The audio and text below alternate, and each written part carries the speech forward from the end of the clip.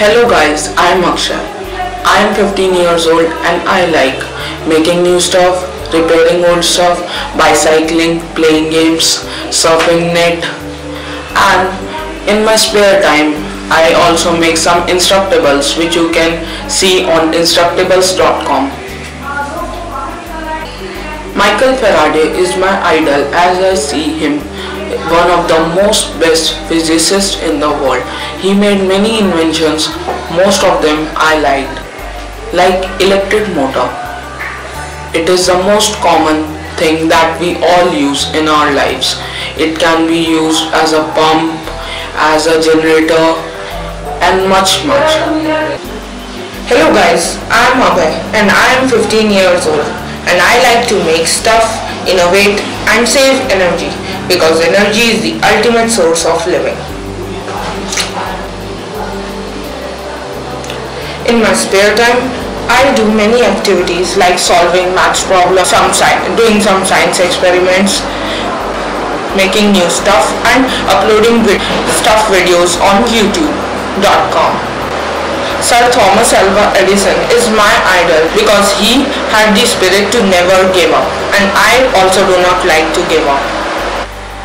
We want to always make something new that is not made before in this world. We want to generate energy, free energy.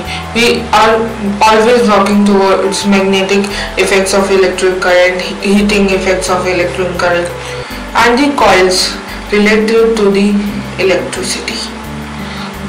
I was always amazed by things like induction, making electricity by moving uh, magnets and generating free energy.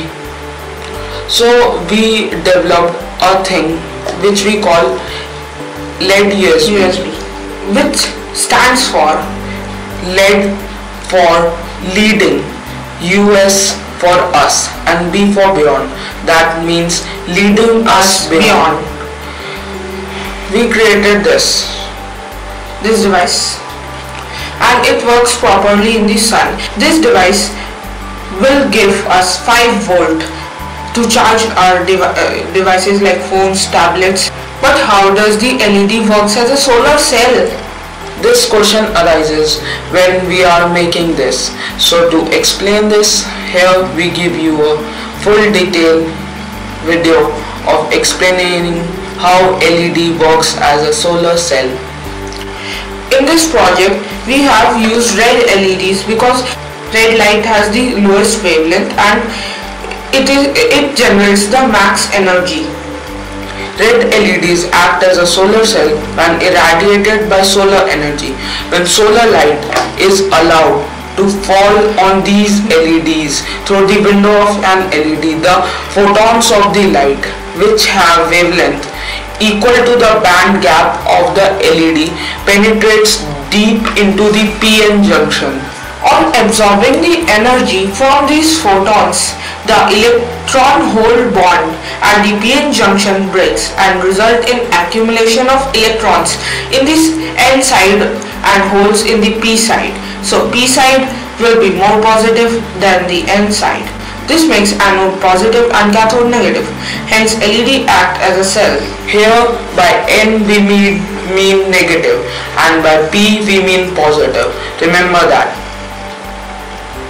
The voltage produced by a single LED is about 1.3 to 1.4 volts. That is much and we can use it nicely. But a single LED cannot produce much current. It only can produce for 100 microampere. That is nothing. So we developed a circuit that will generate a normal amount of current that is required by your gadgets like phones, tablets to charge.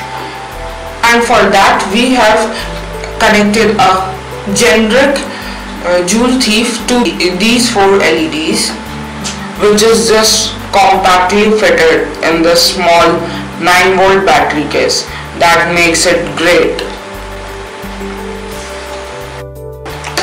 Uh, now if we have made this so what we can do with these we can make cheap solar cells They can be used to charge mobile phones, and we can use them as double voltage oscillators that can be used for low power devices like mosquito repellents or calculators.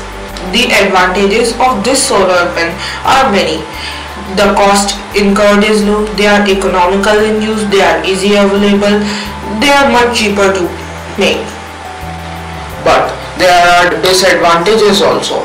If we look on them they are like if the leds are exposed to sunlight for more hours the leds can be damaged. In order to prevent this one must use high powered leds all the leds should face the sun at the same angle if one LED is not facing the sun at the same angle, it will take all the voltage produced by another other LEDs and it will glow up, wasting all the energy.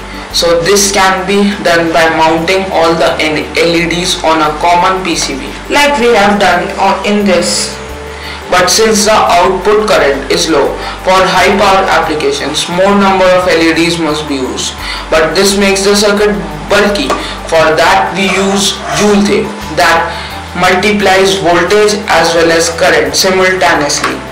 But before making this final prototype, we have made a few before and a few afterward.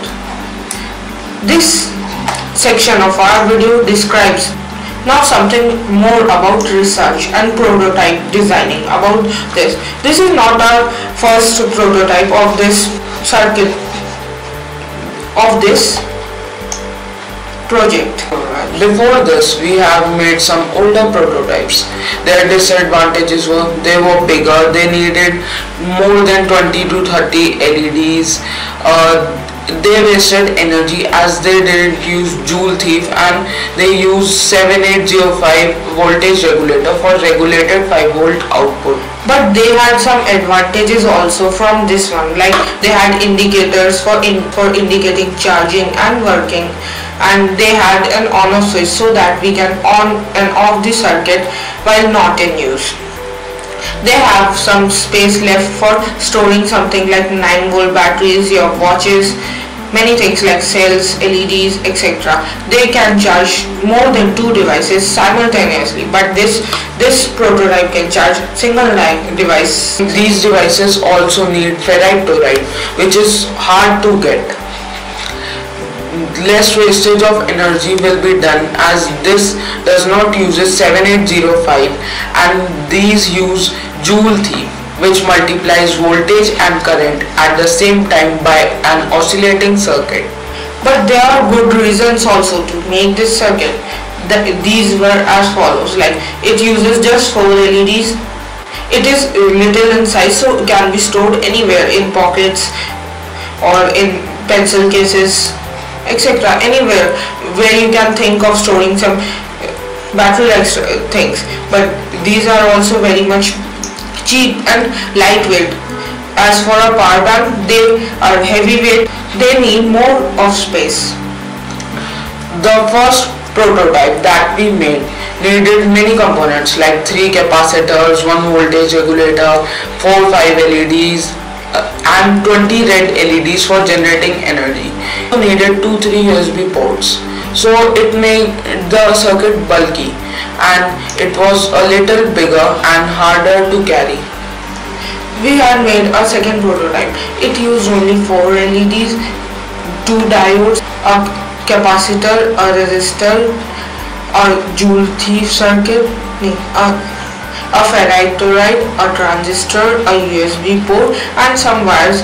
But it wasn't uh, sure that if there is no sun we can't charge our devices we will need only sun to charge our devices. So for the third prototype, we decided to add four 1.5 volt uh, batteries that were rechargeable, hence enhancing its functionality. and here you can see there are two ports here. We have made it a inner circuit so that we can attach our battery. So this device can charge your phone in minimum sunlight or no sunlight This device, when sunlight falls on it at a specific angle, it charges the battery connected here and then it if there is no battery connected, it directs the voltage to the USB port which can be connected to any OTG or on the go cable and which can be connected to any tablet phone device that needs 5 volt for charging. But if there is no some the battery charges it the USB volt here and it can also charge. But where we can get these things as we have said earlier this is very cheaper and we can get all the things recycled.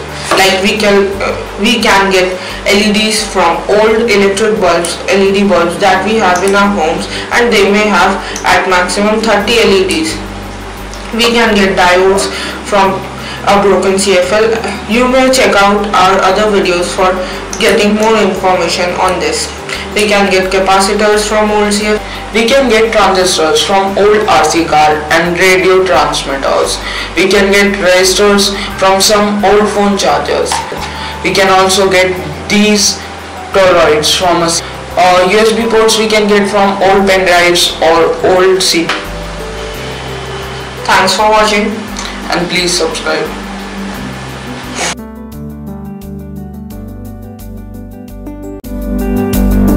If you like this video, you can also like others. Click here and here to watch them. Thanks for watching and please subscribe. Oh, Fatima, please click subscribe. Okay, okay.